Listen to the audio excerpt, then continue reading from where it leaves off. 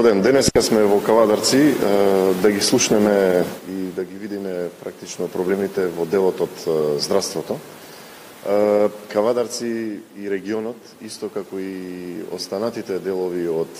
Македонија, мака мачат со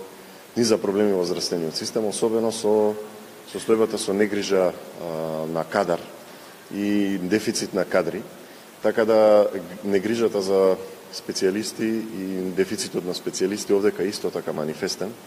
Од колегите кои што работат на терен, дознаваме и собираме информации дека недостасуваат повеќе специјалистички кадри, како што се анестезиолози, педиатри доаѓаат од регионот, недостасуваат гинеколози кои што доаѓаат од Скопје. Сето тоа е одсликува една практично реална состојба која што има дефицит на кадар. Потоа проблемите се манифестни и во болницата, каде што се потребни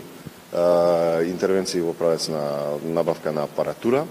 и имаме проблеми кои што се манифестни во брзата помош, имено последното возило од брза помош во Кавадарци е набавено во 2012 година. Сето ова ја дава целокупната слика на последниве 7 до 8 години функционирање на власта, во која што слика можеме да видиме дека има а, практично негрижа за здравствениот систем, негрижа за функционалноста на овој систем и начинот на кој што ние се обидуваме да го коригираме сето ова и да ги коригираме овие забелешки, ќе биде подоцна обсервиран и анализиран, односно добиени информации од терен, од колеги кои што со кои што соработуваме, кои што се тука, кои што битисуваат тука и действуваат. Заради тоа организираме една а, академија, особено овој пат ја назначивме академија петта поред ќе биде за примарно здравство и превентивна медицина, бидејќи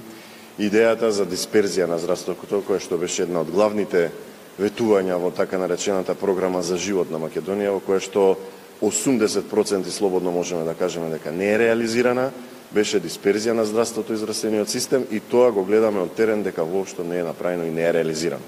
Продолжуваме да собираме информации од колегите и од теренот, да собираме информации од е, луѓето кои што работат, да, ги, да се обидеме да ги елиминираме, односно да ги коригираме сите оние проблеми кои што постојат. Проблемите се манифестни, листите на чекање се големи, дефицит и неможност да се добија здравствена услуга и здравствена процедура,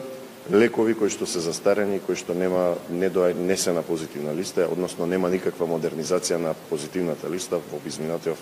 период од 7 години.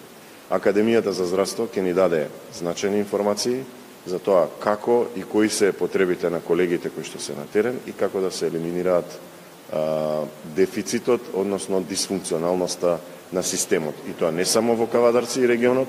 туку и за цела Македонија.